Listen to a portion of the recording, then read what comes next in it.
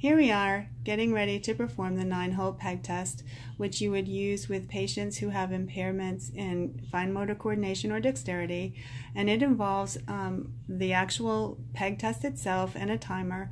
The patient is instructed to put the pegs in one at a time and then quickly remove them one at a time, and the timer stop. The time is what you use for the score. Ready? And go.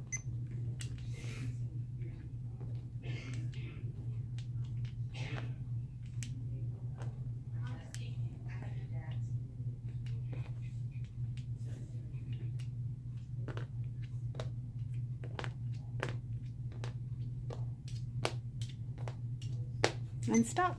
That's it.